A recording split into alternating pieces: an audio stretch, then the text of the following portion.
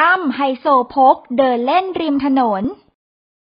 เรียกได้ว่าเป็นอีกหนึ่งนางเอกเบอร์ต้นของเมืองไทยที่ใครหลายคนต่างก็รู้จัก และชื่นชอบเธอเป็นอย่างมากสำหรับอ้ำพัชราภา ที่ล่าสุดได้ไปเดินเล่นกับแฟนหนุ่มไฮโซโพกจะเป็นอย่างไรไปชมกันค่ะ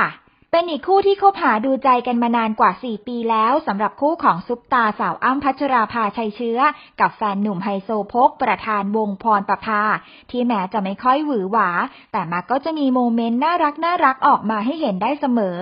ล่าสุดอ้ำพัชราภาก็ได้เผยภาพที่เห็นแล้วต้องยิ้มตาม เพราะเป็นภาพขณะที่กำลังเดินจับมือ พูดคุยกันมุ้งมิ้งอยู่ริมถนนแบบชิลๆย่านเพลินจิต เติมความหวานใจกลางเมือง กันแบบเรียบง่าย ดูแล้วอบอุ่นหัวใจสุดๆ งานนี้แฟนๆต่างก็เข้ามากดไลค์กันรัวๆ ซึ่งบอกเลยว่าถือเป็นอีกช็อตที่หาดูค่อนข้างยากสำหรับคู่นี้เลยก็ว่าได้นะ